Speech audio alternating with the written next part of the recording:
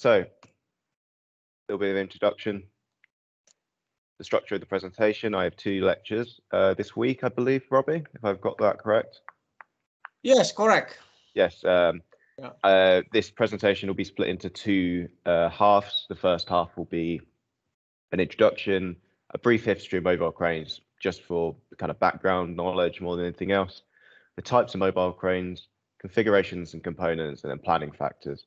And then next time we, we meet, we'll go into a little bit more of how we plan the operate, uh, operation and understanding lift plans. So uh, I work for a company called Sarens. We are an international heavy lift company. Um, we do mobile cranes as well as SPMTs, which are self-propelled modular transports. Um, this is one of the many um, advertising slides, unwavering values. You'll get to know um, uh, you'll kind of um, when you get into the business world, you'll understand that these uh, companies love these. So I've put these in for um, a little bit of information. This was a video, but it's not going to work because of audio, and it's not really that important. So I'm just going to skip that. Um, Sarens is an international company. We um, operate all over the world, nine geographical locations, 67 countries, and we have over 100 offices. Uh, the office I work out of is relatively small. Um, we have three people working out of here full time. Today, I'm the only one in the office because either people are in different countries or are working from home. So, uh, in Sarens, we have our main sectors, which are oil and gas, mining, infrastructure, basically anything heavy that needs to be lifted or moved, we're probably in, uh, um, involved in some manner. Um, primarily at the moment, it's offshore wind we're doing a lot of work for, and infrastructure is quite a big one, uh, the one that I get involved with quite uh, probably the most. Um, as I've mentioned, we have uh, quite a big fleet of, of equipment. We have a big toy box that we use. Um, that we have the traditional cranes. We've got hydraulic and lattice booms cranes, which I'll go through this uh, this presentation, and then tower cranes, which I'll go through in a following presentation, I believe next week. No, the week after, sorry. Um, transport, we have conventional trailers, modular trailers, and then we have the self-propelled, and then we have a load of special equipment that uh, we design, and um, uh, some of them are made in-house, uh, some of them are uh, off-the-shelf stuff, but we do special equipment like skidding and strand jacks um, and gantry systems. So a very brief introductory to me, because that's not really the point of this presentation. Um, my name is Andy. I've, I am a Loughborough University graduate. I graduated basically last, this year. Um, I'm a Sarens project engineer and I'm a technician member of the Institute of Engineering and Technology. I have a civil engineering uh, high national degree and which is a HND, and then uh, I have the construction management BSc, which I recently graduated. I've been in the industry about six or seven years at this point. Uh, I came into uni a bit late. I was a mature student when I joined, hence why I've got a bit more um, experience than the typical student. So, on to what this presentation is actually about. And if I'm going too fast or anything like that, just feel free to shout. I'm happy to slow down. I just know that we've got quite a bit to go through. It's about, uh, so I'm going to see how we go um, with this one hour slot. So by the end of this this presentation and the following one on uh, this week, we should I you should be able to understand the different types of mobile cranes, identify the components of mobile cranes, understand like crane configurations at least in a basic manner, recognize common constraints inherent in crane operations, and then read and understand crane schemes. I'm not necessarily going to teach you the every single detail of how to from first principles do a crane plan because that's not necessarily what you're going to get involved with on a day-to-day um, uh, uh, on a day-to-day um, uh, routine because you'll you'll be construction managers most likely. So you'll definitely get involved with mobile cranes at some point but it'll be more in a feasibility uh, uh, kind of um, arrangement rather than a detailed lift plan uh, and again, if you have any questions during the presentation, feel free to ask. Yeah, any time, put your hand up, drop a message in chat, and then Robbie will read them out to me as uh, as they appear. Okay. So just a brief history of mobile cranes. Nothing too detailed. We're just uh, just kind of so you have a background knowledge. So, very early mobile cranes were very dangerous, it, to put it lightly. They had no or very few safety systems inherent in them. You got manufacturer de uh, details saying you can lift this load at this radius, but the crane itself can't monitor that. It was up to the intuition and the, basically the feel of the operators. If they felt the crane was going, then they would uh, then they would um, uh, reduce the radius. As as you would think, accidents were quite common, and they were quite simple pieces of kit originally. Like, um, I'll just quickly is it that one? That oh, laser pointer. Can you see that, Robbie?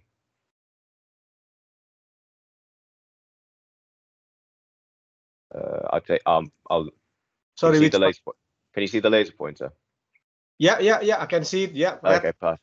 That's perfect then. I just accidentally closed my notes.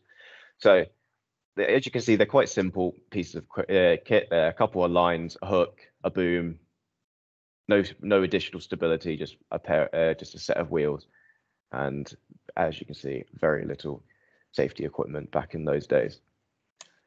So, uh, that? Yeah, sorry.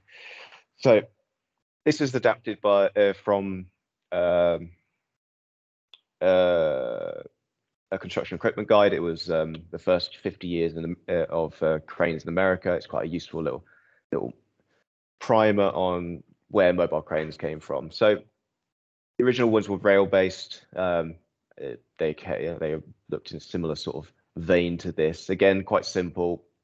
Uh, a lattice boom, a hook, a little bit of counterweight, located on uh, rails. You can see a couple of these working on a construction site, and then they would just set some rails up, and they would just wander back and forth on site, doing as they needed. Um, wheeled one uh, wheeled mobile cranes were introduced in about 1940s sorry 1914s sorry. And as usual war kind of developed the uh, these um, uh, the early uh, war prompted a lot of development in cranes to cope with the adverse um, conditions in on in the in the field essentially. So Truck-based cranes were spurred by the need for quick repositioning on, uh, in supply depots, and crawler-based cranes were developed to tackle with adverse conditions. It's as you needed, the cranes were developed. Um, the 1920s saw quite a big change uh, from moving from steam to internal combustion, along with similar to uh, cars. They kind of developed in parallel but the way that those cranes were operated originally was like all all of the force of the load being lifted would be almost put back onto the driver driver's control. So they were very heavy. It was quite a quite a fatiguing job to have because you had to manipulate all these different levers. And it wasn't until air clutches and hydraulic clutches were introduced where they became a little bit um, less strenuous to use. Basically, it would be the same of um, driving a car with and without power steering would be the best way of um, kind of showing that. Um, outriggers were introduced in the mid 1900s. As you can see here, this one's just kind of got a, a beam and it's just blocked out with some bits of timber, and that's adding additional stability. Not even the wheels are blocked out. It's very simple sort of uh, equipment back then. And then World War II, again, another war, developed the idea of hydraulically actuated booms. So this one was one of the first. I think they called it uh, the Anteater or something like that due to this. So very simple um, crane compared to what we've got nowadays. And talking about nowadays, we have the more modern uh, mobile cranes, as you can see here. They are no longer operated by feel. They are very complex pieces of equipment. They've got lots of electronically controlled and monitored safety systems. And the capacities are far and away much higher than they used to be. And they still continuously increase as well. Um, due to the increased safety, accidents are less common, but because of the weights we're dealing with, they tend to be more dangerous when they do occur. Um, so therefore, effective and complete planning of crane operations is essential um, for the safe use of these pieces of equipment. So that's just a very brief primer for where cranes came from. I thought it would be might be useful to kind of give you a little bit of background. It's nice to have, not essential, but the next bits are what you'll um, probably come across in your day to days. So we're going to go into the when we when, my, when I say mobile crane, that's actually kind of a catch-all term for a number of types of cranes, and these cranes being all-terrain cranes, which are probably the most common in the UK. The lattice boom crawler cranes, which again are quite common in the UK. Telescopic crawler cranes, which are not as common, but you'll definitely see them on site. Self-erecting mobile tower cranes, which are uh, again becoming more popular in the UK. Lattice boom truck cranes.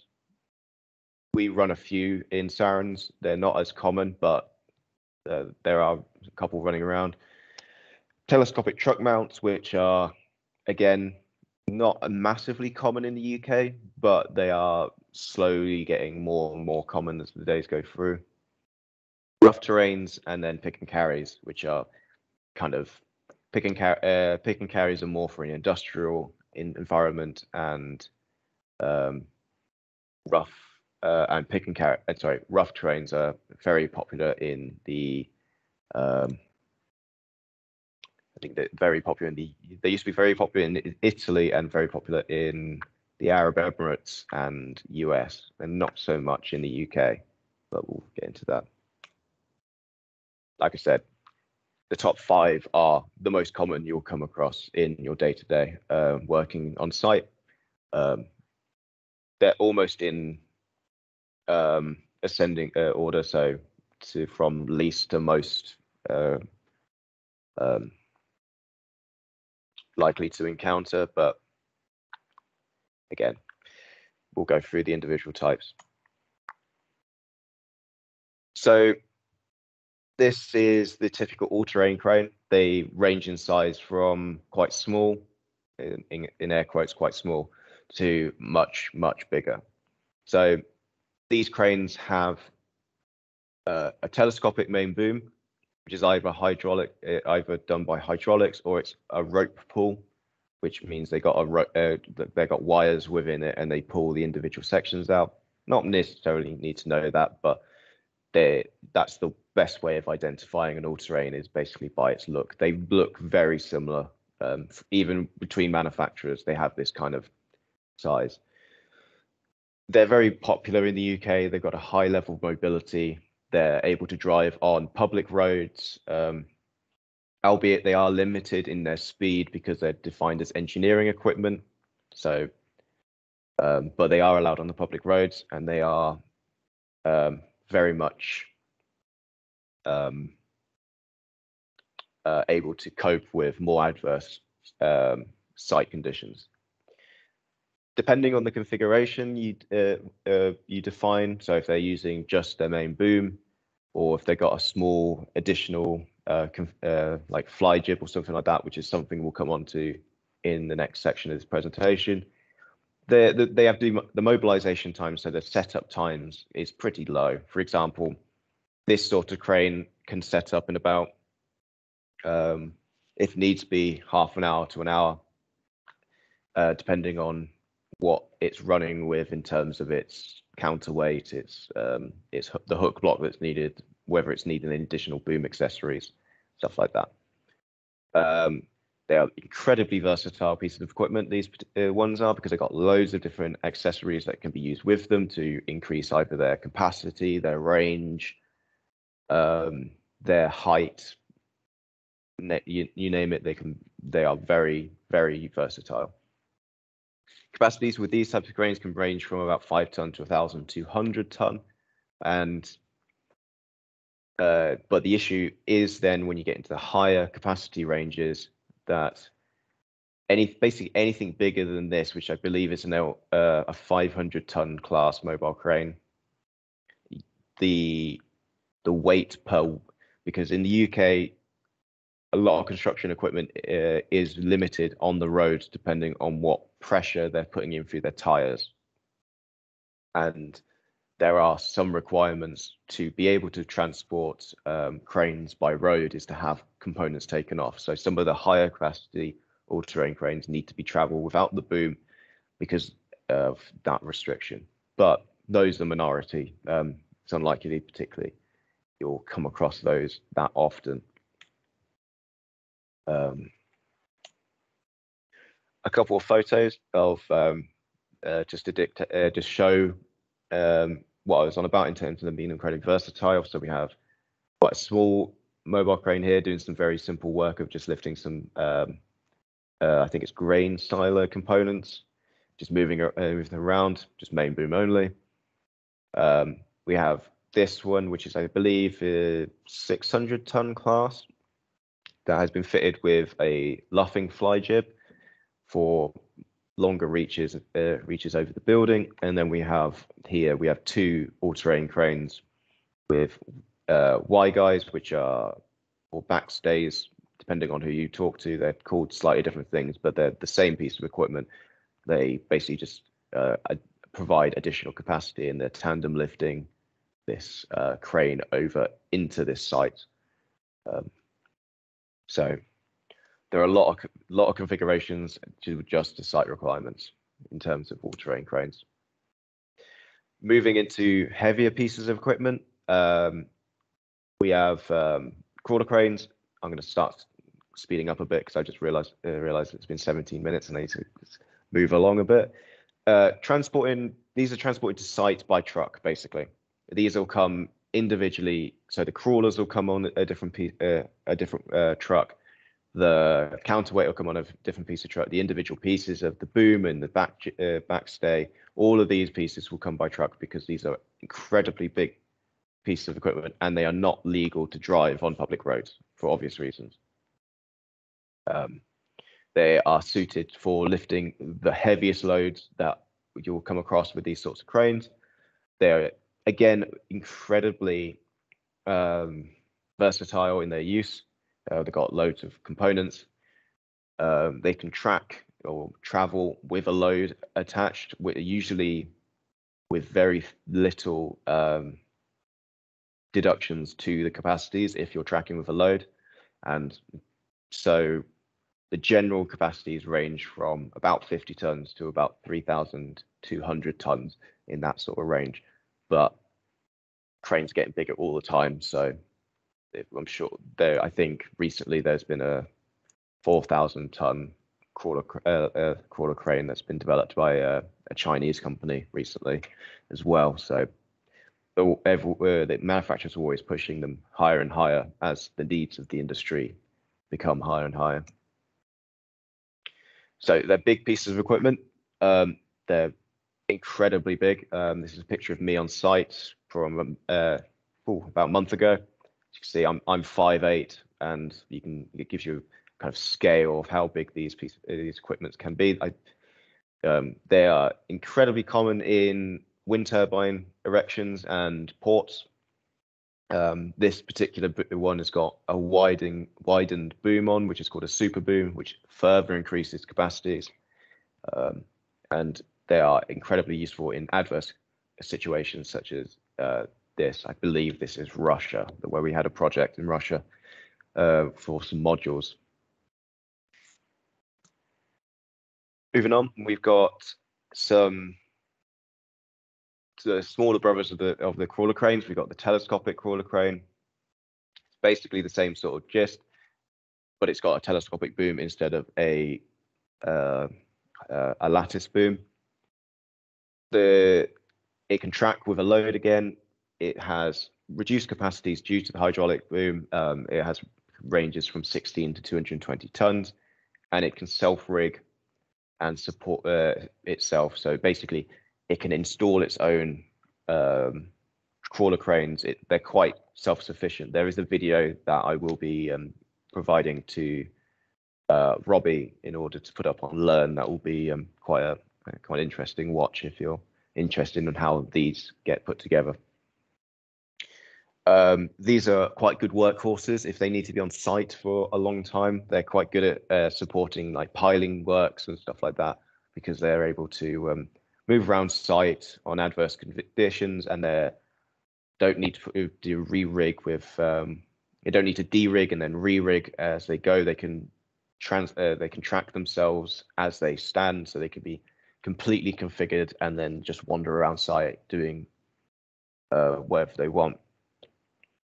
Um, out of curiosity, does anyone or would anyone be able to suggest why you might not want to use these on tarmac or or roads? Does anyone have an idea why you may not want to use one in that sort of situation? Okay, so these will rip up roads. The the tracks are metal. Uh, there's a lot of uh, weight going through them.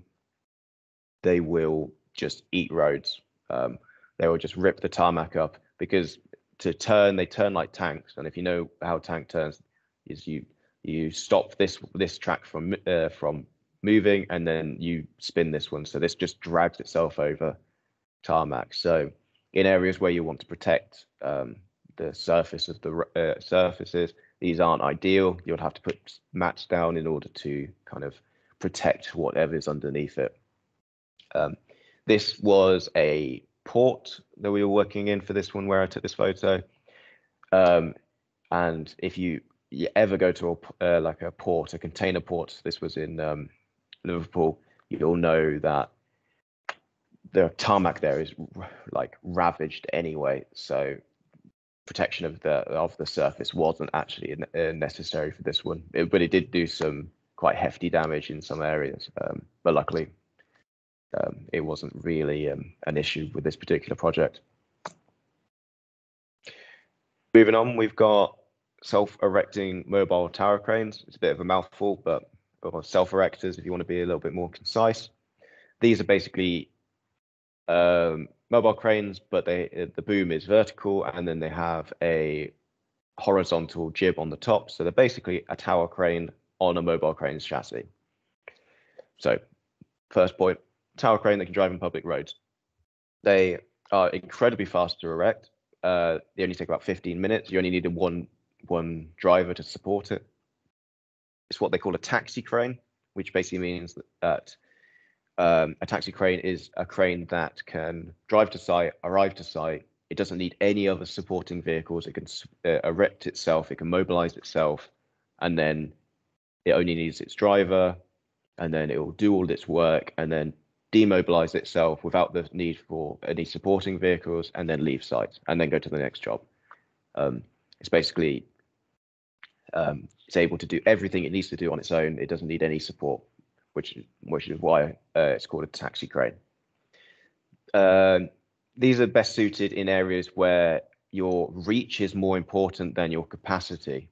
So if you're working with lots of small uh, low weight loads, these are ideal, especially if you need to lift over a building, for example. These are very, very, very much suited for that sort of work. They are height adjustable, so the jib itself can be put slightly low or slightly higher as needed. Um, that the extent of that is dependent on the particular model of the self erector, but that then most of them are able to do that and they have quite limited range so like i said it's more for when you need reach rather than capacity they can go up to 18 tons but that's when the trolley on the jib is right against the mast rather than out here out here you'll only get about one one and a half tons uh, in most situations again capacities depending on particular model of the crane moving on, we've got lattice boom truck cranes. So these are these are basically and usually do have a crawler crane equivalent to them. So some crawler cranes will have an alternative model where instead of having a crawler base, they'll have a wheeled base like this. Sarens has, I believe, the largest truck crane in the UK. We have the Gottwald AK680. I believe was built in like the 1970s, 1980s. It's quite an old crane at this point, but it's still one of one of the workhorses of the fleet. Uh, essentially, what will drive to site is just the slewing ring and the partial superstructure of it. Everything else will come on supporting trucks. So the boom, the counterweight, the derrick mast, which is this bit back here. So all of this will be individual. Even if you look carefully, even the outriggers will come uh, separately to this crane. So this these are very much suited for when you need the capacity of a crawler crane, but you don't you don't need it to you just need that capacity for one or two lifts from the same spot. You don't need to move, you just need to pick up something very heavy and put it somewhere else. Whereas a crawler crane would be better if you need to pick it up, move it slightly, track a bit, go somewhere else on site from uh, maybe track back, do a little bit more mobilization on site rather than just pick up and move. So combines the mobility of all terrain cranes with the capacity range of crawler cranes. So they're quicker to demobilize to site and generally are quicker to uh, erect on site as well. Um, they have comparable but not completely similar uh, capacities to crawler cranes. So they have 130 to about 1,200 tons capacities. And th this is sort of um, some shots of the Gottwald in action. So here we have it rigged. So when you rig a, a lattice boom, it has to be flat. So this is one of the considerations you need to be uh, need to have in the mind. So when when you're rigging a crane like this, you need say if it's got a 60 meter boom, you need 60 meters of clear space on the ground to be able to rig that boom. So the use cases of these sorts of cranes are more limited than, um, say, hydraulic cranes, which don't need uh, that much room to rig, uh, depending on their configuration. Telescopic truck mounts, these are basically designed to be taxi cranes. These are designed to drive from the depot, drive to a site, set up, do the five or six lifts they're, they're hired to do, and then drive to the next site, do the five, six lifts they need to do there, drive to the next site, and then at the end of the day, come back to, um, or back at the end of the week, or however long they're on, the road, to come back to the depot. They are completely independent of, of any support vehicles. They've got all the uh, all the necessary equipment they need on board, and because they're on a conventional truck uh, truck truck chassis, they can do normal um, motorway speeds or truck speeds, um, 60 miles an hour as needed. They're efficient, they're fast, they're designed for frequent or long uh, distance travel, but they have much limited, much more limited capacity ranges. So topping out around 80 ton uh, capacity. Moving into rough terrain cranes, the the popularity of rough terrain cranes has a certain um, correlation to the price of oil to an extent because they're quite popular in Arab Emirates states for supporting um, uh, oil uh, refineries as well as uh, gas and mining, I believe is another point they're used. They're quite common in America because they they tend to have uh, a different sort of makeup of the individual cranes that are available on site or, or in, in their um, uh, or that are available. You'll notice that what crane is popular where is kind of dependent on where they are geographically. The UK is very much into all-terrain cranes um, on that support most of their sites. A lot of the time in America, quite a lot of rough terrain cranes support a lot of the sites. Um, it's that kind of geographical difference. I'm not entirely sure why that difference exists, but um, if you ever do any international work, you'll probably recognize that the types of cranes you're interacting with will change depending on where you are in the world. Rough terrain cranes in particular, they're designed for really rough conditions. They've got big tires, they're four wheel drive, they're all all wheel steering a lot of the time. they're compact, they're versatile, they've got excellent gradability, which basically means they're able to uh, deal with much larger slopes than normal crane will, so they can uh, climb hills that maybe not necessarily other cranes would be able to. They are able to drive with suspended loads, but that's at a much lower capacity um, than uh, they're what they're rated for because of additional dynamic loadings of inherent in moving loads suspended. They have capacity ranges from about 12 to 150 tons. And we move on to the final uh, type of crane. These are quite rare, to be fair. They um, you might come across quite very small um, versions of these cranes uh, on site, but typically you'll only really interact with pick and carries if you op uh, are operating in like an industrial setting. So these are designed to be able to pick up and carry a load, as their name kind of suggests. They can move with a suspended load. They're work ready all the time. They can. They don't need uh, outriggers, but they typically can only lift over the front. They don't have 360 um, rotation of the boom that other cranes will have. Yeah, they're moved. They're usually used in industrial context, and their capacities range from about five to 40 tons. Um, Sarens has a few of them, but we have a sister company called Somoko, which is more of an industrial um, uh, industrial supporting uh, company that we, if we have any kind of um, lift uh, pick and carries, they're usually run by Somoko. I believe this one is also a Somoko, it's just Sarens branded. Um, right. So moving on to uh, crane configurations. So cranes are quite complicated pieces of equipment. You can have different types of cranes, but within those cranes, you also have different configurations of those individual cranes. So cranes can utilize variety of different components in order to modify the abilities of the crane. So you can have components that extend the reach of the crane. You can have components that increase the capacity of the crane. You can have uh, modifications that minimize the footprint of the crane or maximize the footprint of the crane as needed for stability.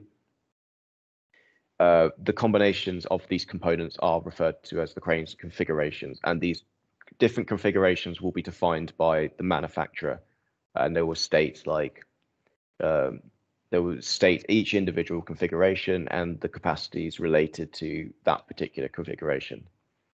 So the following slides will give you an idea of the typical configurations available to all-terrain cranes. These are pretty well applicable to a lot of different types of cranes, but it's easier to show you on an all-terrain crane because these are most likely what you'll be interacting with once you get on site. So we have an all-terrain crane here in plan and section. Uh, the sections at the top, plan at the bottom. So we have four outriggers.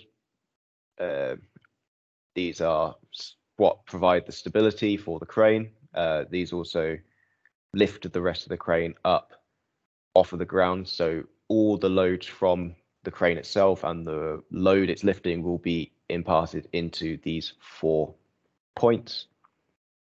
Um, we then have the superstructure, which in, is this section up here, which involves the counterweight at the back, which is basically the balancing uh, weight that provides uh, stability against the load you're lifting.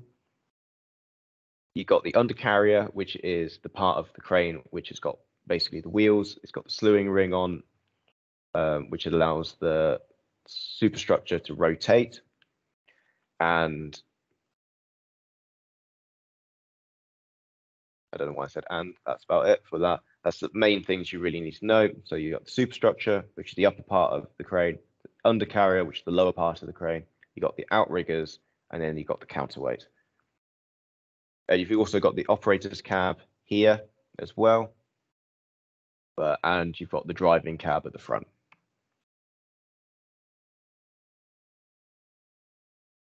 So the standard configuration for a mobile crane is main boom only. So this is when a crane arrives to site. It's got some got some counterweight on the back, but it's only using its main boom. It's got a head sheave at the top, which is where um, you'll have a you'll have a how shall I remember the word? You'll have a, a wire drum at the back here that'll run a wire up to the top here, and then the sheave up here. You'll run the wire basically repeatedly through here to increase the amount of uh, falls of the rope, and it basically just provides the capacity you need in that particular rope. Uh, you got a hook block, which is what you what you connect to the load or connect to your rigging of the load, and then you've got your luffing cylinder here, which raises and lowers the boom as needed. This is, as, as I mentioned, it's the standard operating uh, configuration for mobile cranes. Um, this is what you'll probably come across most of the time. Uh, a crane that will just rock up to site, stick its boom out, and do its lifting. Simple as. Simple as the crane can be. It's quick mobilization, and it does, and it will only need additional counterweight if it's over the standard traveling. So basically, there is a certain amount of counterweight that a crane can travel with that is allowable.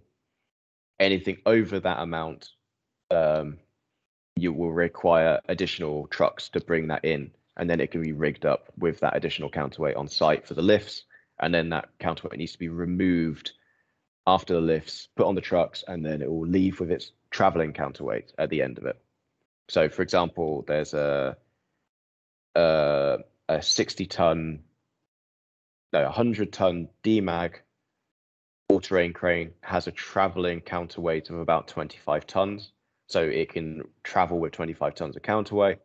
But if you want increased capacities, you have to add additional counterweight. So that, needs to be added on site and then removed before it can travel anywhere else.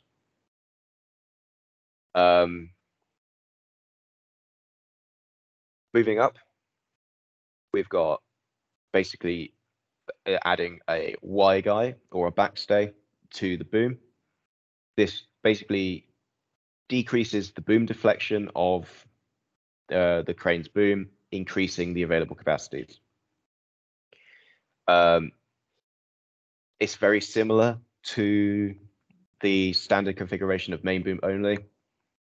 Um, it really only affects uh, the rigging time in a minor uh, way. Approximately about 45 minutes, sometimes an hour. It depends on the crane, particularly. But this will greatly increase the amount of capacity that this particular crane um, can lift at. And all it does is simply just takes deflection out of the main boom um, and basically provides a more rigid base for and provides more support for the boom. We then have a fixed fly, which is a set of lattice sections that be, can be added to the head of the main boom. This basically sacrifices capa uh, capacity for additional reach. We call it a fixed fly because it will be fixed at a certain angle. So typically angles are in uh, usually around 0, 20 and 40 degrees. However, they can vary slightly from that depending on um, manufacturer and model details, but the typical angles are zero, which is basically if it's zero, it's straight with the boom. If it's 20 degrees, it'll be slightly off with the boom. And then if it's 40 degrees, it'll almost be uh, flat if you have a boom like this. Um, the jib angle is set at the beginning of the operation and it can't be changed when the crane is lifting a load. It's set at that much. Um, some uh, if between loads you can change the angle of the boom, but um, you don't um, really want to be doing that. If you can do it with one one angle, that's kind of what you want to try and do. It does have increased rigging time because these individual lattice sections need to be lifted onto the crane. They might require a support crane. In some situations and some crane models, the fixed fly can be kind of installed on the boom um, on the side of the main boom at the depot, and then it can travel to site with it on the side of the main boom, and then it can like fold it out by itself. However, that's very that very much is dependent on the crane itself, and it's usually for uh, mid-sized cranes, so anything between the 50 and 100 ton um, kind of uh, capacity range. Larger cranes um, can't really do this because the the sections of the fixed flyer are much more uh, robust and therefore heavier. So there is the potential for additional supporting cranes in order to install this jib. Uh, additionally, you can do you can combine the fixed fly with a backstay, so provides additional reach and it enables higher capacities. Um, again, it has the same issues where you can't change the uh, jib angle under load. And compared to the original rigging time for fixed flies, um, it's only a minor increase. Then we have the main boom with luffing jib. So this provides additional uh, reach while maintaining high capacities. This is this can be changed under load. So essentially, in this this arrangement, the main boom is set at an angle, and that won't change. So, for example, it's set at 66, 76, or 84 degrees as necessary, and then all the movement of the boom is done in the luffing jib. So this will stay put, and then this will be rotate or luffing up and down to change the radius that the crane's working at. These have the potential to greatly increase reach and potentially capacities depending on what radius you're working at, and but they much more intensive to install. They require significantly large rigging areas to be able to uh, to able to rig, and they definitely require a sport crane in order to install all the components that are required. The the rule of thumb for how much rigging space you need for a crane like this would be the minimum length of the main boom of the crane that's the uh, that's crane's being used, and then plus the length of your proposed luffing jib.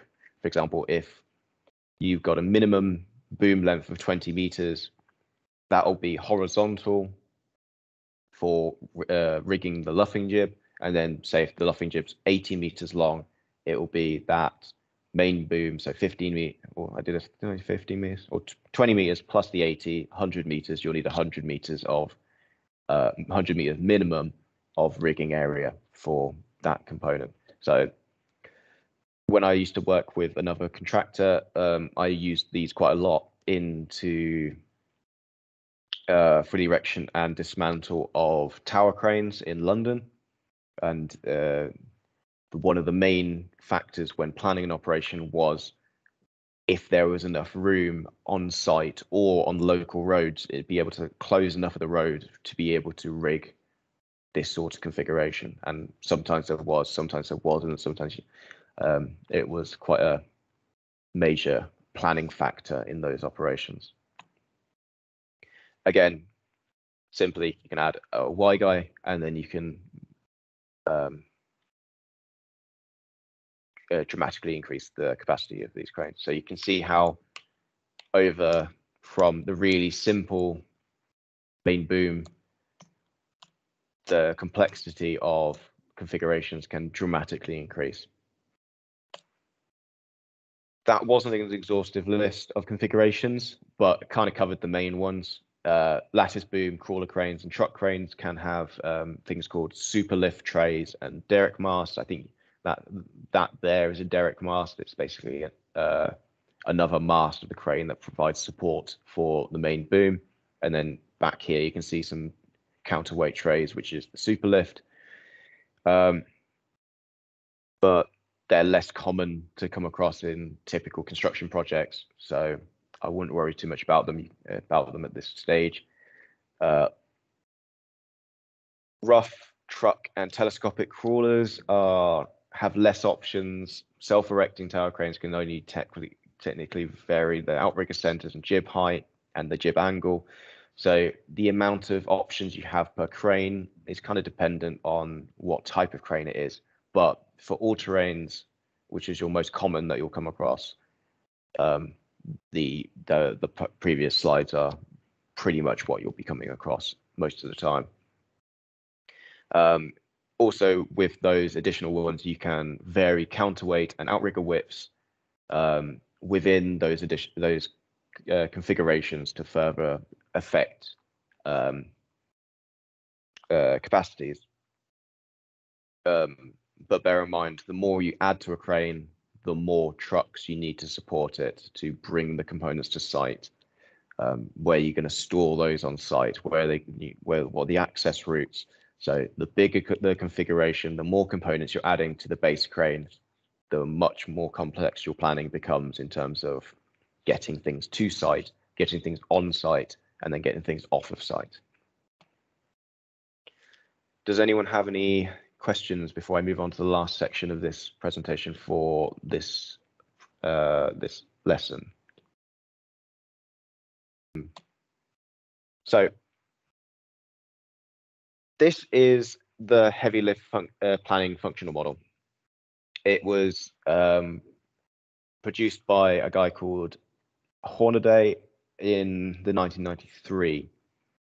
It is primarily used for um, module lifts on oil refineries, but it's a good uh, model to kind of understand the factors and the constraints that affect uh, mobile crane planning. So, for example, the the main stage of this is the heavy lift planning stage. So we have three stages within heavy lift planning. We have feasible cranes and partial lift plan, which is the preliminary planning. So we get a preliminary idea of what crane we uh, would we want, what size of crane, where does it need to be, where uh, what's the site like, and then from the preliminary, you then optimize it into a detailed optimization plan, which defines the feasible cranes and the optimum lift plan. So you just basically from the first one to the second one, it's just a series of optimizations. Um, and then the final bit of optimization brings it into a final optimum crane size and lift plan and final evaluation and selection. So there's three kind of stages to it. Throughout those, you're always considering the planning factor of cost and reliability in terms of the crane. So how much do you have to spend on the crane? What higher rates can you accommodate? Um, how reliable is the crane and the supplier that's supplying the crane? Can you trust them? Can you do you know that their their equipment's good? That sort of stuff. So the in uh, to going into heavy lift planning, you have the inputs, you have the crane, the load, and the size. I will explain these a little bit more in detail uh, in the following slides. Then you have the controls, which are the spatial constraints, the, constr the structural uh, constraints, and the schedule constraints. And then you have the mechanisms, which are the constructor, the owner, the and the engineering consultant.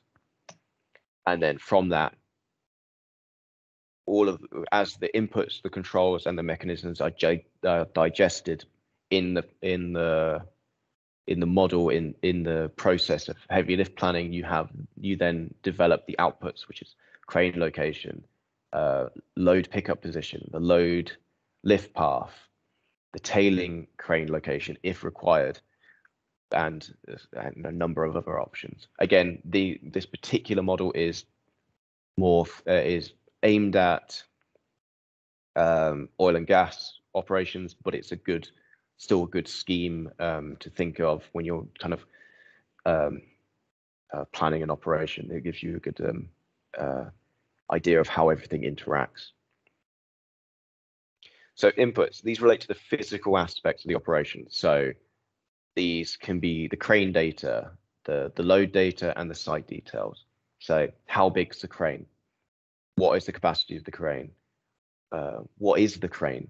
Um, the, then the load data is the stuff like how big is the load, how heavy is the load, um, what is uh, where can I pick up the load, where are the, the lifting points, and these are usually defined by the manufacturer shop drawings. So, say if you get a, an idea, um, an idea for, say, uh, uh, an air conditioning system. If you've got a big um, air system on the roof that needs to be installed. The manufacturer will define the lift points where it's safe to connect rigging to in order to lift the, the thing.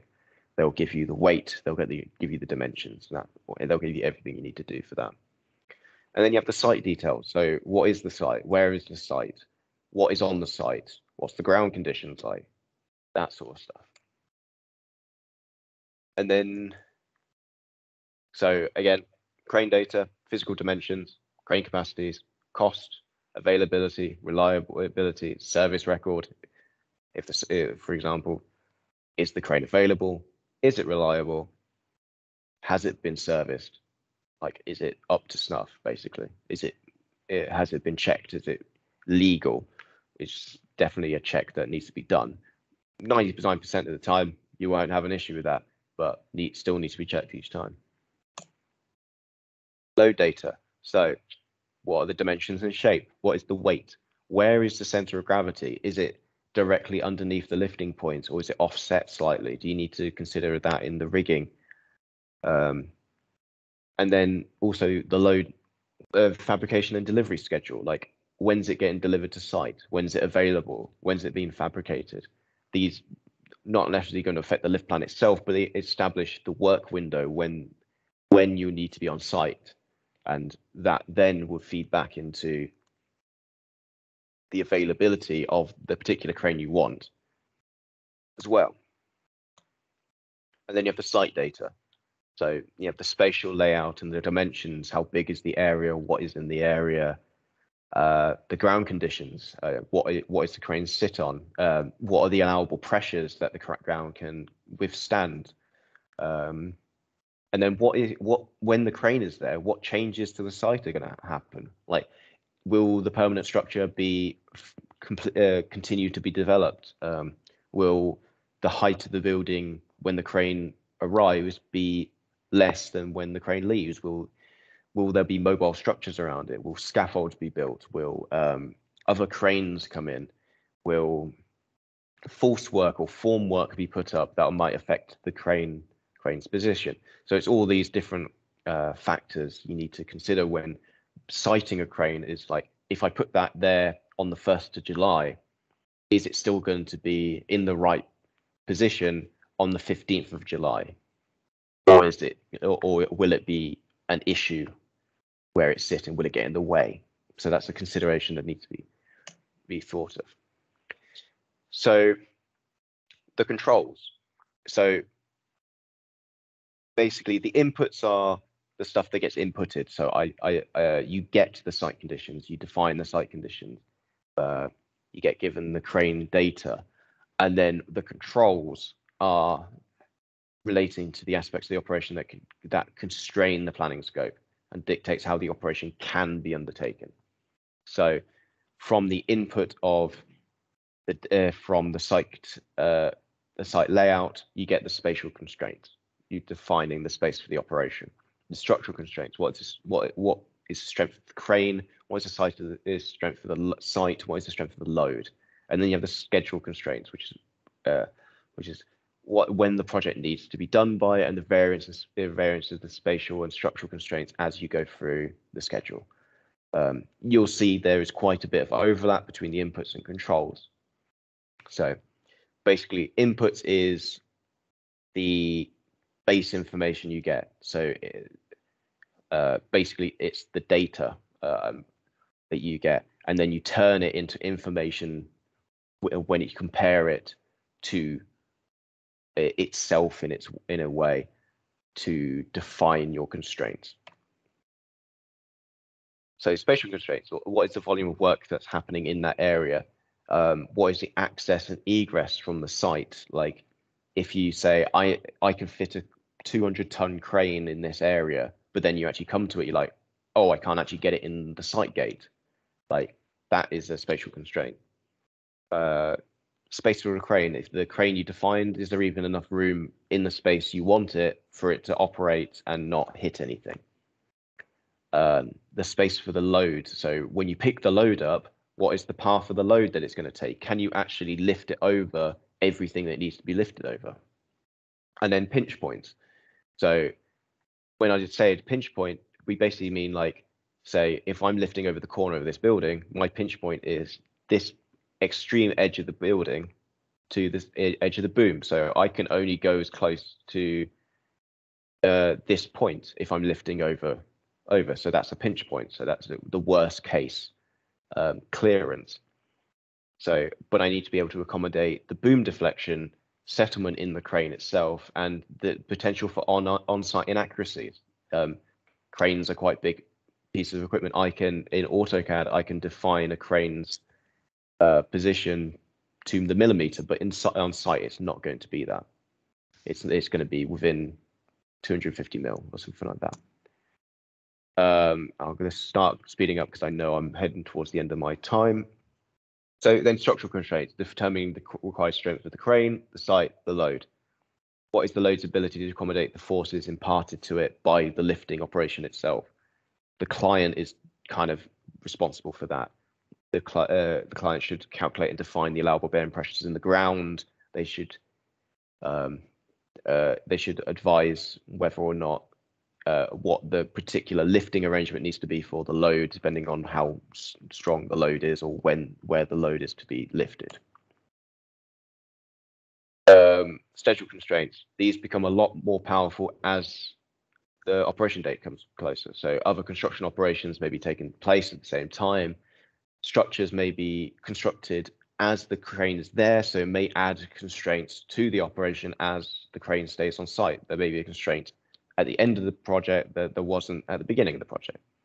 And then what critical activities need to be undertaken before the crane can even arrive there. If, for example, if they haven't prepared the ground before the crane gets there, the operation can't take place because the ground isn't suitable for the operation. And then mechanisms. These are factors that bring the plan into existence. So the so the people involved. So constructor provides information about the site and the load to the lift planner. The engineering consultants provides the information as per their role. So if they're ground, uh, if they're geotechnical engineers, they'll provide the geotechnical information. And then the owner of the project or the construction manager, I guess, the like the final ownership of the project information, and therefore ensure sufficient information has been provided to the lift planner to be able to lift, uh, to be able to develop the plan that they need to be and be, develop it in a manner that is correct and is um, accurate to the site. The final execution of the plan is responsibility the lift planner, but the owner is should help um, the lift planner ensure that the data that they have is correct and complete. And outputs and the outputs are just the in uh, is the interaction of inputs, controls, and mechanisms. These they're just the final basically there what it was described it's the output. They can change uh, outputs are not stationary. If you change the inputs if you change the control or if you change a mechanism the output will change. Um, and they can exist in three forms. So you have the preliminary the detailed and the final. So basically uh, napkin sketch to final plan. It's essentially it and these outputs will take a form of either a single or a series of technical drawings, as well as all associated risk and method statements. And those are uh, living documents. So if uh, a, a, control changes during the, the planning of the operation, these documents need to be updated to, uh, to recognize that change. And then finally, a heavy lift functional model, uh, heavy lift functional model this is a simple model to understand the interaction of factors in lift planning. Um, again, it was developed in an industrial setting in oil and gas, so all the outputs, particularly here, are may not be considered for every lift operation. Uh, there is overlap between the controls and inputs and mechanisms. Since they're not undertaken in isolation, they all affect each other. Uh, the interaction of these defines the operation and its feasibility as well as its optimum form. So we're moving into the planning of the operation itself, as in we've looked at the uh, looked at what controls operations, what the inputs are, but how do we? What are the steps to taking to actually planning the operation that's being undertaken? There are generally seven steps. So uh, there are. Uh, sorry, there are seven steps. So it's determine the load radius, determine the total load, determine the minimum hook height, which gives you a minimum boom length, define a proposed crane, calculate that crane's capacity to ensure it's acceptable, and then check outriggers against the uh, ground bearing strength, and then you optimize that uh, pr uh, process. There is the possibility you come to calculating the capacity of the of the crane that you've uh, defined in step four. You may have to go back to four to define a new one if the capacity isn't much. So these two can kind you can kind of like circle around in this bit for a little bit, but that's fine. Uh, that's just the general uh, general way of working out. But those are the general four seven steps. So determine the load radius. What is the maximum radius you need to reach? Like, what are you lifting to? For example, on this scheme, the maximum load radius was 12 meters. And this is defined by where the crane can be located in relation to the load it's be lifting. So it's reliant on the available space on site. It's reliant on what is currently on the site, what plant is in the way, what storage areas are on there, are you allowed in the storage areas to use that space temporarily or are those storage areas always in use so you can't use that space do does all of the area around your ground where you're lifting have sufficient bearing capacities because not all ground is the same uh, not everything has the same strength so there might be harder areas of the site or un, uh, more prepared areas of the site uh, there are voids and trenches because we always dig things in construction. There's foundations, there's all sorts of stuff. And then there's proximity to structures. Can you, is it safe to put a crane there? Are you going to hit something with the, either the back, uh, the tail of the crane or the boom itself? So all of those kind of feed into defining where the crane can be located in relation to the load. In a very simple operation, which is shown here, you can site the crane right next to the load. Um, for example, this one was literally just uh, um, I'll just quickly show the laser pointer. In this one, it was very simple. Uh, truck would reverse out here. The load would be picked vertically up. The truck would drive out, and then the load would be vertically put down. So the simplest operation you could come across for that one. And then you need to determine the total load weight. What is the load? So the, this is essentially the net load, which is the load of the item you're lifting. So say 15 tons you then need to define what the tackle is or take an, uh, an engineering judgment on what the weight of that tackle will be. And then you need to add the hook block, like because the hook block is not considered in the capacities of the crane. It's considered part of the load because there are multiple uh, hook blocks that can be fitted on a crane. And you don't need to use the standard ones from the manufacturers. You can use aftermarket ones uh, that are the equivalents. So they can't define what that weight will be. So it's up to you in order to um, determine it. Um, so basically everything underneath the head sheave, which is uh, identified last week in the in the uh, diagrams. So, it, but in simple terms, it's weight weight of the load, weight of the tackle, and the weight of the hook block, and that is your lift weight. You then need to define a hook height. So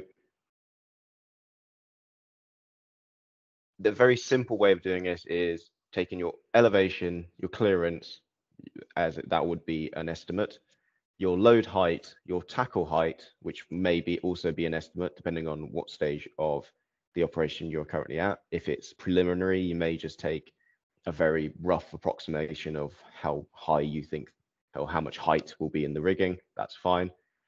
And then you need the chandelier height, which is basically this figure here, because the hook block on a crane cannot be um, hoisted right up against the head sheave. There is always a need for a, a, certain amount of wire rope between here and here for safety, and so that you just don't drag the hook block into the head sheave and uh, shear the uh, the hoisting ropes.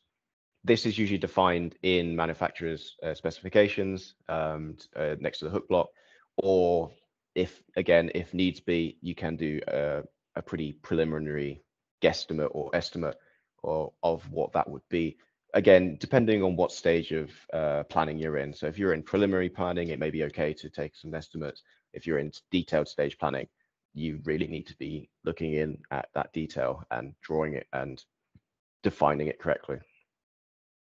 So in terms of this, the elevation, the difference between the level of the crane and the load, the clearance is an allowance for clearance to obstructions. So if you're lifting onto a building, you want to uh, allow an extra two meters on top of the load height. So you have two meters between um, where you're putting down the load and the load itself. And then you have the chandelier height, which is what I've just described. This is a very, very rough approximation of the boom length requirement. Um, this will give you a height of uh, the load that you need to lift to as a maximum in relation to the crane position. So from this, you can kind of define what boom length or, uh, or what kind of range of boom lengths you'll be looking at for the crane. And then with one to three uh, points, you can define a preliminary crane. Uh, uh, the lift weight, the lift radius, and anticipated hook height is the minimum information you need to define a crane.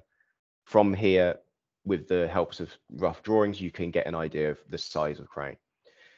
You can also, a lot of calculators or online crane calculators and lift planning software like Liebherr Crane Planner can also help with this. Um, they can, you can feed into that software these points of information and it can, can provide you a, a, a, a guesstimate of to what cranes you're and what configurations you may be looking for in industry that doesn't tend to be get used that much because by the time you've done a few lift plans you've probably got some idea of looking at a lift and going okay it's going to be approximately this size. So you always got a starting point.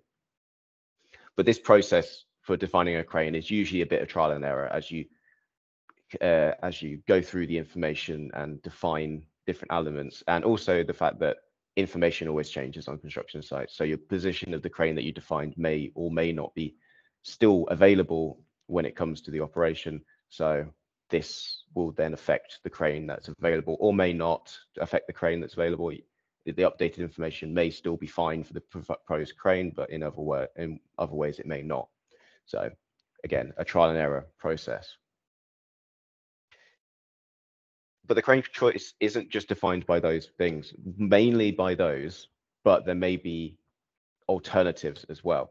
For example, you may look at one crane and say, this can do it, but it doesn't, we can't get it. It's not available. Therefore, we have to get a slightly bigger crane than what we want because of availability. So the uh, main external factors are the availability, the cost, the reliability of the crane, and the reputation of the company supplying the crane. These are always something you're going to be coming across in being a construction manager. You're always going to be looking at availability, you're going to be looking at cost, and you're looking at reliability, and you're going to be looking at reputation. You don't want to work with people who don't um, aren't reputable. You don't want to work with unreliable equipment, and you don't want to oversize uh, your equipment requirements uh, for the cost of the project. And if then you've got to work to availability. The construction company, uh, the construction industry has uh, uh, got a lot of um, movement in what is available one day may not be available the next. So those are the parameters you need to work in. Calculating the crane capacity. So the first place you go to is the crane capacity charts. These are supplied by mobile crane uh, manufacturers. Uh, if you're part of a company like I am with Sarens, we have access to the original manufacturer documents, which is easy to get at. Uh, if you're working from a preliminary standpoint from a con construction consultant, you may not, or construction contractor, sorry, you may not have access to that information, but you have access to crane information no matter what through the manufacturer's websites because they'll always provide what we call glossy brochures of the, the cranes available. When you're looking at uh, defining a crane and its capacity, your maximum utilization, which is basically the lift weight divided by your capacity minus any deductions times a thousand. So you're just getting a percentage out of that.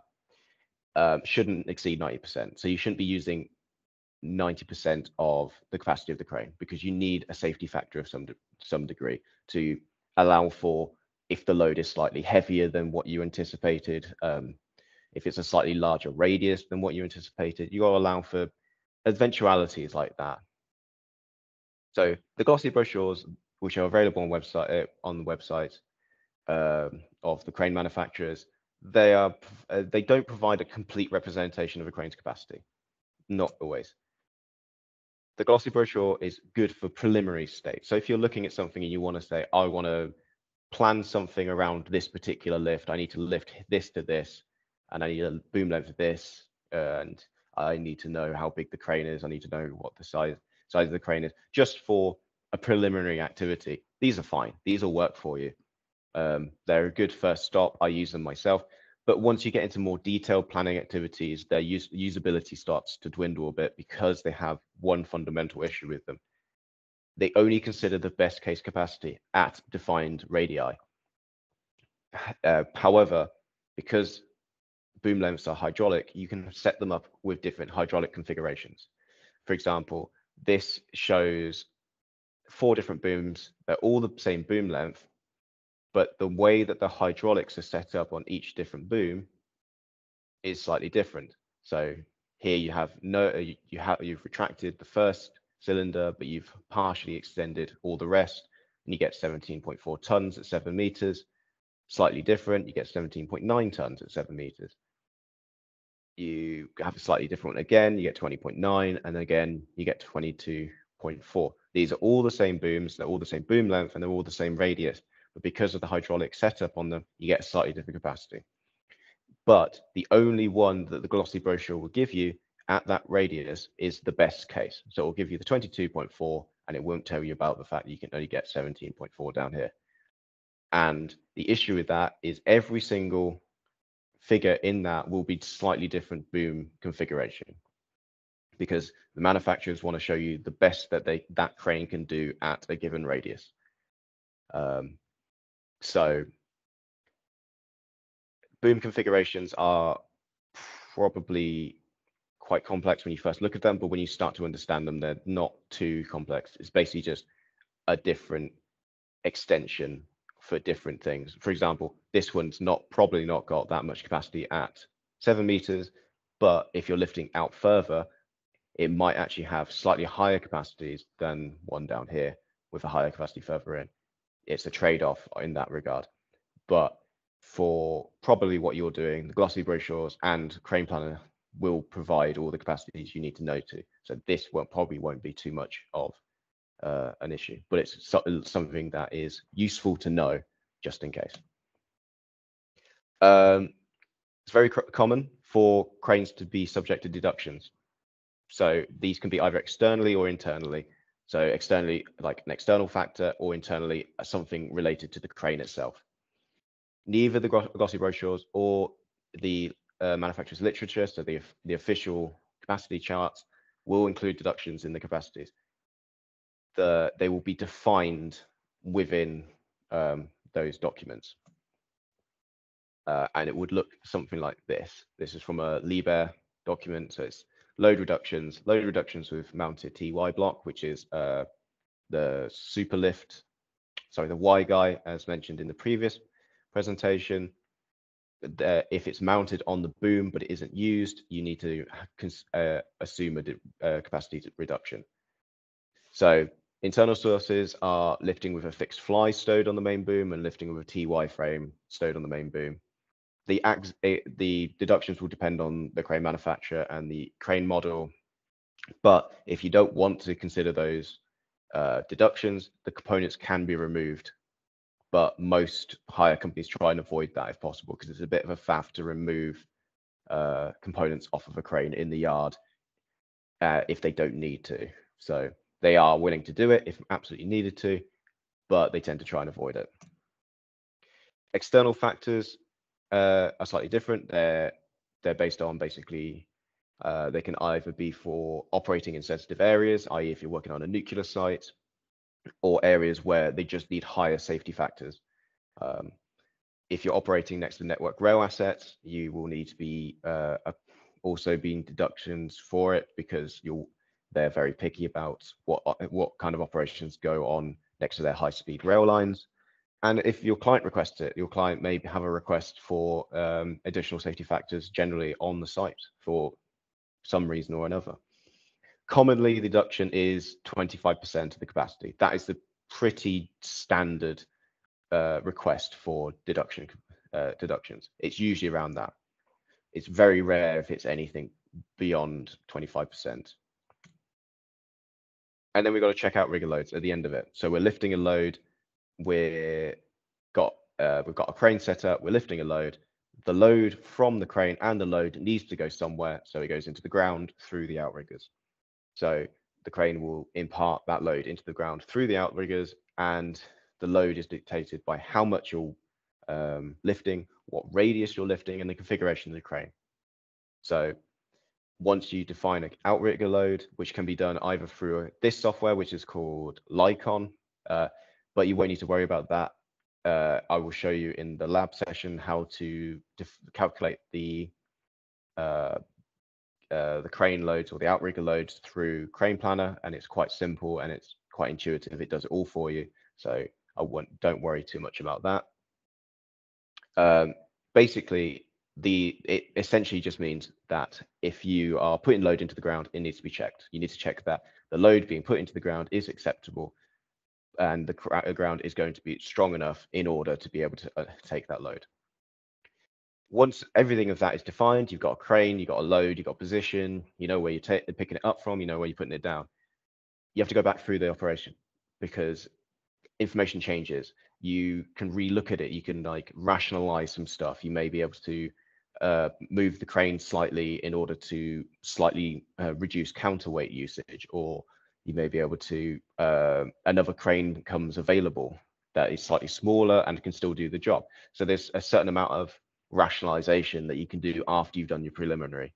So can you make the crane smaller? What risks are currently inherent in the project, which can be mitigated by slightly tweaking the crane plan? Um, and it's just crane plans are living and breathing things. They, uh, the construction sites are very dynamic, so they will change. That it's very rare that you'll start and do a preliminary scheme, and the preliminary scheme is exactly the same as the detailed scheme. There's always changes between. So, what are the consequences of doing a bad job of planning? There are two main modes of failure. There's structural failure and there's stability failure. Uh, and these can be affected by a number of different options uh, or uh, uh, not options, sorry, decisions. But the most common thing that you can find is the crane accident will be linked to insufficient or incorrect planning. So stability or structural failure can be done by exceeding the crane's capacities. It could be if you pull or drag a load, you can over uh, the friction, the, the additional force of friction, and if you're pulling um, uh, perpendicular to the boom, it can cause a failure. Um, if you're swinging the load uh, unnecessarily, that can also cause a because it can swing out to a further radius, or it can swing to the side and uh, and do a lateral force to the boom, and then that can cause a failure as well. Wind has the same effect if it's uh, excessive wind, and if you're lifting submerged loads, avoid that at all costs because you can never guess how heavy that load will be with the addition of water because it will get into everywhere. It will always be a different weight, which is, I believe, what happened here. They were lifting something out of the water. It was heavier than they anticipated, and the boom failed uh, quite catastrophically. Failure can also be a, a result of poor maintenance, but that tends to be more rarer and much bigger news when it happens. Uh, you can fail due to ground conditions. If you punch a hole in the ground that's not the greatest thing to do in the world. Uh, if you're insufficient distance from trenches or underlying voids, you might uh, cause a rotational collapse of the ground into those. The, the side of a trench might collapse if there's too much load going into it laterally.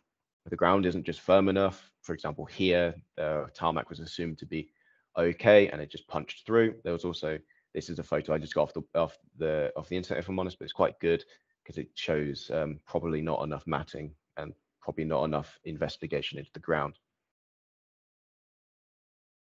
You can fail by clashing into things. So for example, if you if the counterweight is swinging around and it hits something behind it, uh, if you clash into something by if you're putting an outrigger out and there's something in the way and it hits it for some reason, um, or if you uh, lifting a load and you hit, you hit the load into something, uh, that sort of stuff. Um, but it doesn't necessarily need to be an accident to be a failure planning. You can there's other outcomes. For example, you might not be able to get the crane on site if you haven't checked the access route. You uh, the crane might get to its position and then find there's a lamppost in the way that just is right on where the crane needs to be positioned. Uh, if you become jib bound, for example, that you don't pl- plan clearances correctly, you luff your boom out, uh, and you find that you can't uh, uh, reach what you want to reach without the crane clashing into a leading edge. Or if the crane just becomes available, if you're dragging your feet and you want a crane, you drag your feet, and then the crane becomes unavailable, that's also a failure of planning. So here's some examples of some poor planning. They're quite uh, uh, quite excessive um, issues, but they kind of show what I'm trying to describe. This one was in uh, New Zealand. It, it occurred in 2010. Uh, there's a it was a 10 ton sorry 100 ton class all terrain. It was placing 22 ton concrete beams. It was building a cycleway bridge over a river. The crane, uh, cranes were located. There was actually two cranes. There was one on this side and one on the other. Only one of them failed. Uh, but the cranes were located on a shore of a creek, which you can see here, which was improved by basically piling on top of it compacted gravel fill. Everything that was done was done to industry standard. Uh, the overhead lines were shut off critical lift planning was undertaken and all the site movements were planned. It was planned, it was on the face of it safe. They undertook a counterweight check, which basically means they rotate the the upper uh, carrier of the crane through 360 degrees and they monitor any subsidence in the outriggers. None was uh, noticed. But while they were lifting the final beam, I, sorry, the second beam, there a crack uh, kind of uh, formed underneath one of the outriggers, and a rotational failure of the ground occurred, which basically means the uh, the ground underneath just it basically rolled away from the crane.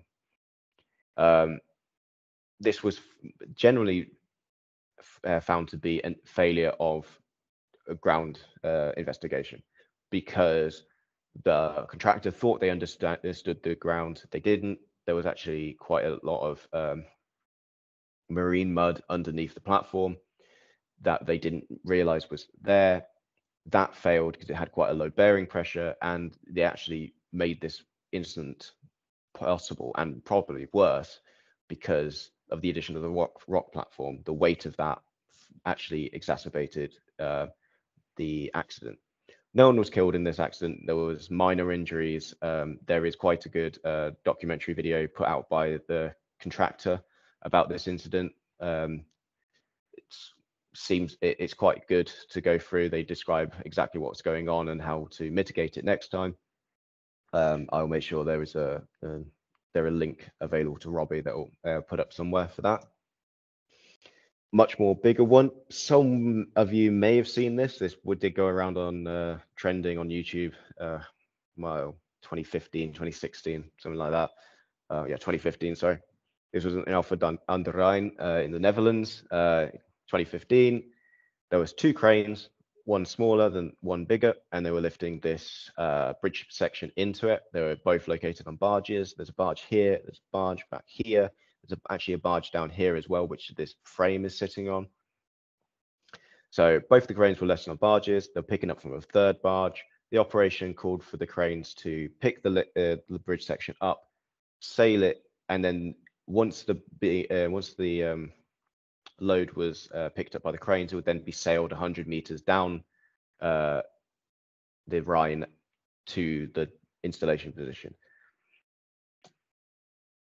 Quite a big failure.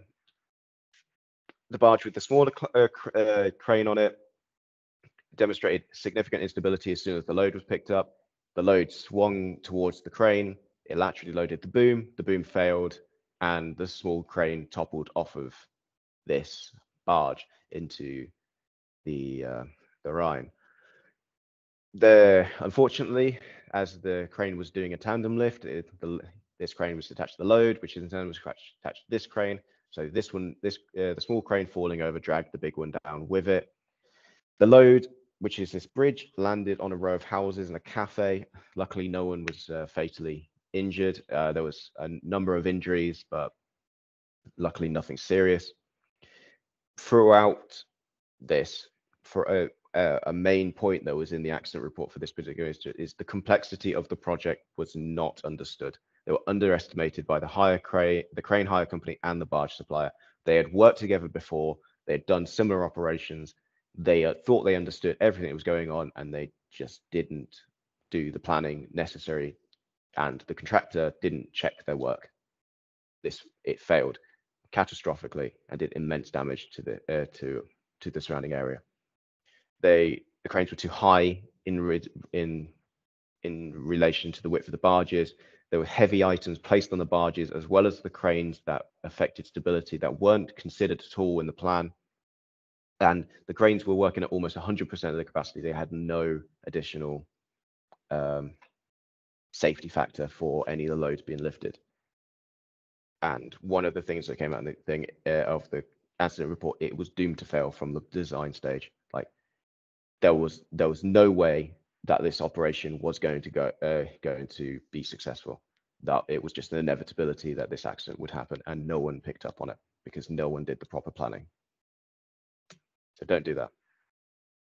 Okay, so you've defined all all of what you need to do. You've done all your planning. You need to now communicate this to people. How do you do this? You do this through a lift plan. And these are a document or a series of documents, depending on what, uh, on what, uh, the complexity of the operation. So this document will collate all the information about the proposed lift. It will collate everything. It will be maybe a single document, maybe a series of drawings. It is essentially a simulation of the proposed lift in a static form. So you identify areas of concern and risk from this. You'll understand constraints through this. Um, you'll understand the scale of your equipment in relation to the site. It is a communication of this information visually to everyone that needs to know about it. It will be provided to the client and the operational teams will use this as well. It is a living document. This will change from the preliminary to the detailed, even on site sometimes these teams may change because stuff changes. For example, on I will go into this doc, uh, this particular operation uh, at the end in a little case study, um, and that changes. It changes quite a lot, and it even changed on site because of some uh, information that came up. So, what information do does a lift planner need to lift uh, for a lift plan? Well, you need information about the site you need sections and elevations of any obstructions or surrounding structures, or at least estimates of their height. You need the local ground uh, levels. You need underlying services. You need street furniture. Basically, anything the crane can interact with, you need to know where they are. Uh, you need to know if there's any access or egress route restrictions that may limit the size of the crane. You need to definitely need need to know the weight of the load and the dimensions of the load. What are the lifting points on the load? Can you sling it normally or is there special slinging requirements? What are location of site obstructions? So what, again, like going back to the storage areas, the trenches, scaffolding is one big thing because no one, very few people seem to, to keep track of where scaffolding is. Uh, scaffolding is a highly mobile structure on a construction site. It will walk across the site as need, needed as it's replaced in different areas to work on different bits of the project and that can sometimes be not picked up on.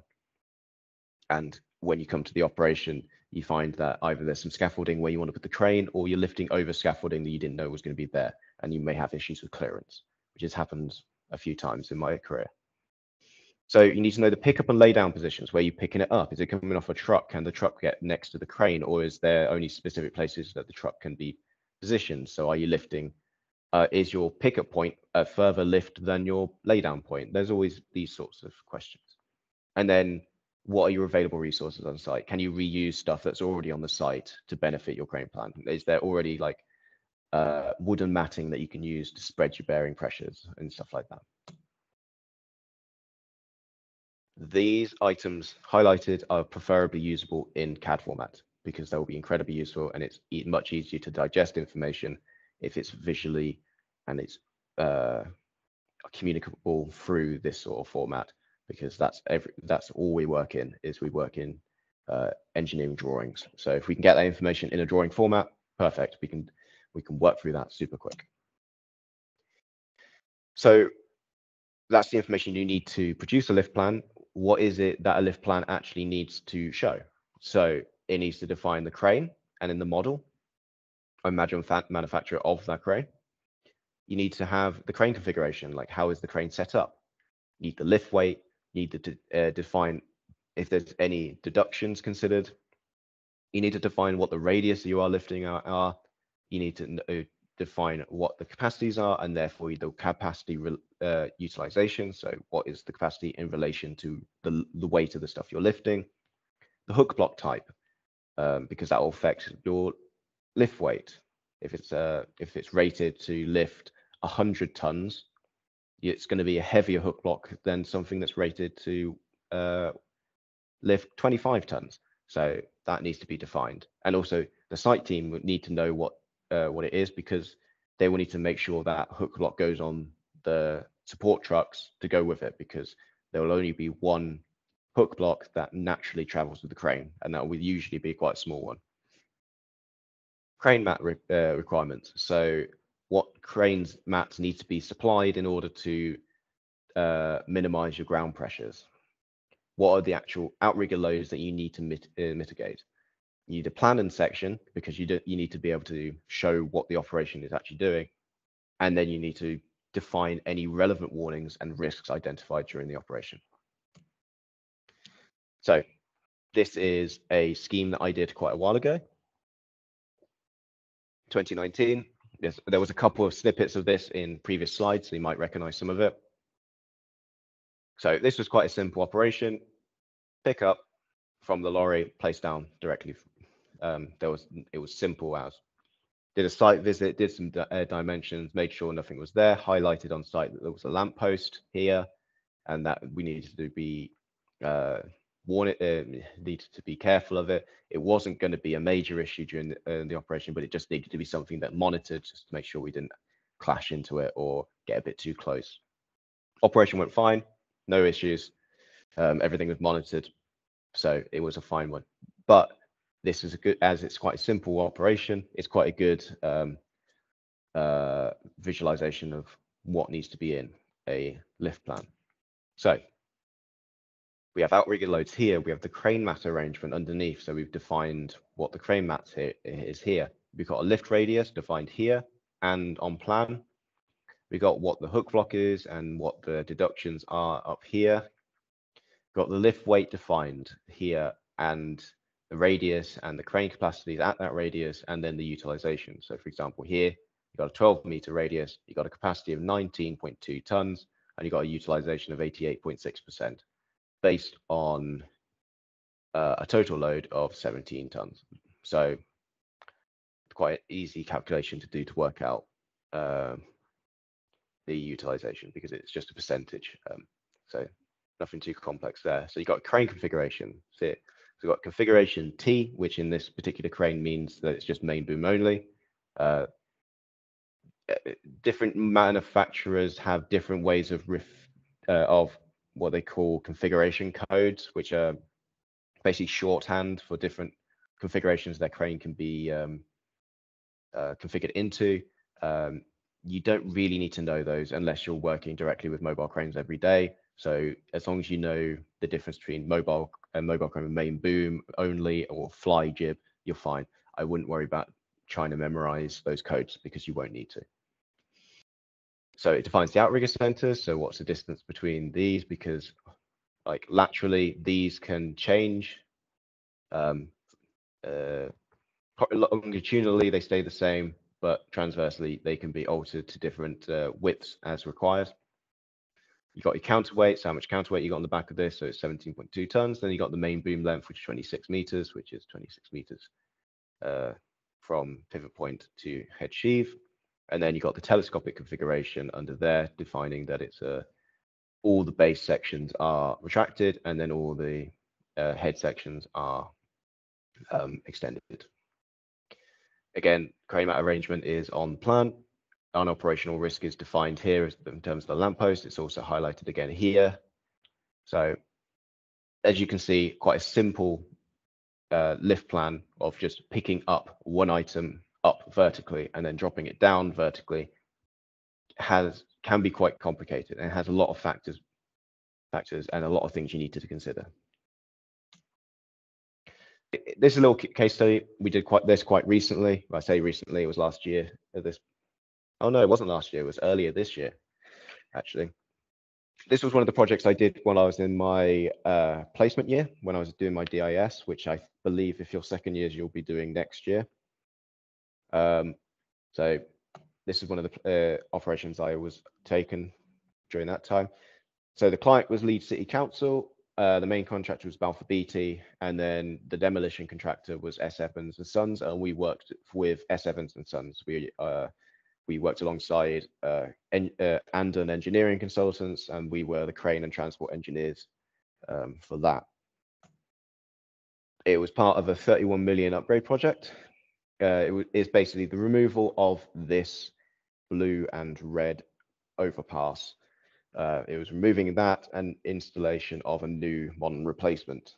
Uh, the original bridge was no longer uh, like cost effective to maintain.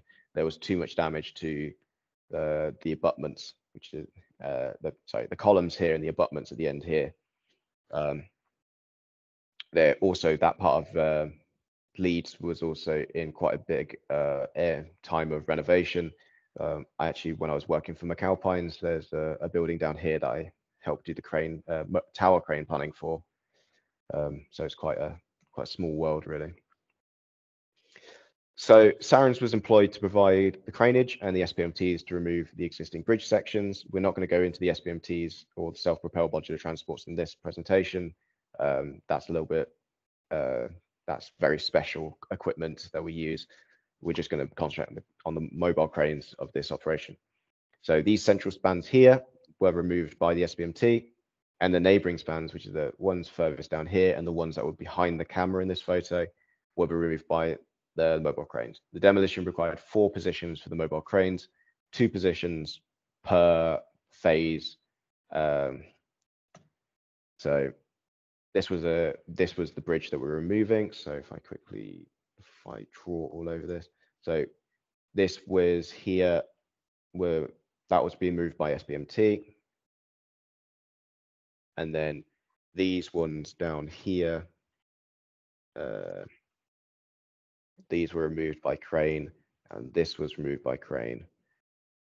And they were taken out in individual um, um, uh, beams. So there are beams running that way along here so, and uh, the construction contractor would cut through the tarmac at the top to separate the beams underneath, and then it would core down through either side of the beam so we can get our um, rigging through, and then we would just lift up. There are four crane positions, uh, two to the north and two to the south but we're going to be talking about this particular position. And this is where I'm going to try and get some interaction. So what on here do you think would affect the crane operation? Does anyone have a guess of anything on here that may affect the positioning of the crane?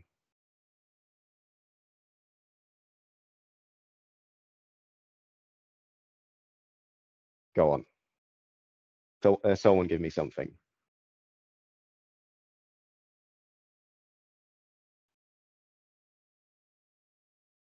I'm not surprised. I, I, uh, it's not been long since I was a uni student either, to be fair. So, um, uh, traffic lights. yeah, yeah, uh, yeah. So basically, we got we got street furniture. Like we've got traffic lights. We've got this massive lamp pole, pole here. We've got the fact that it's a uh, it's an active road, so we need to close the road. Um, we've got service uh, chambers here and here, and there's one here uh, we can see those. Um, we've got curb lines up here, so there's a change in level. Um, there's bollards here. There's the the, the load we need to lift is here, and there's a, a there's a traffic light. And where are we going to put the crane?